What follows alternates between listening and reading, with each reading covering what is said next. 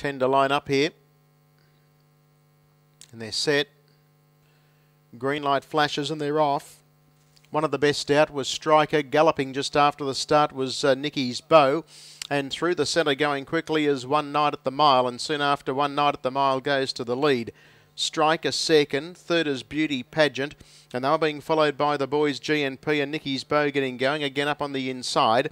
Further back there is our change of luck. And they were followed by Summertime Lizzie.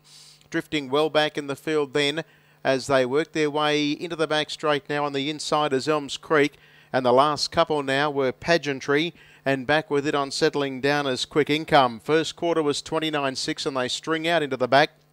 The leader is uh, still one night at the mile, leads the way, but going very quickly on the outside now is the boys GNP to take it on and soon after the boys GNP goes to the lead.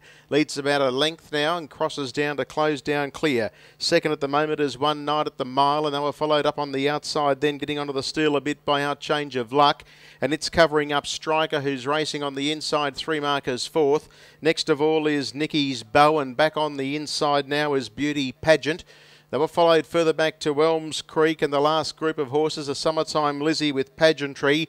And at the tail end of the field now is Quick Income, 31.5 for the second quarter as they run off the back straight down the side of the track they come. And it's the boys GNP, the leader. About three parts now, getting closer is Our Change of Luck. One night at the mile is locked away on the inside and then came Striker. Taking off now is Nicky's Bow and Elms Creek goes with it. Pageantry tries to work home and in the uh, cerise colours getting into the clear as well to the outside now is Summertime Lizzie. The leader is the boys GNP over one night at the mile. Elms Creek winds up, getting a split through the middle now in the green jacket is Striker. It's Elms Creek out after the boys GNP. The boys GNP joined by Elms Creek. Elms Creek dived. Oh, gee, this is close to a dead heat. The inside kicked. The boys GNP is up there with Elms Creek, and then you've got Striker, Nicky's Bow, and close up one night at the mile. Beauty Pageant got up on the inside, and then came Summertime Lizzie, followed further back then to clock in by Quick Income.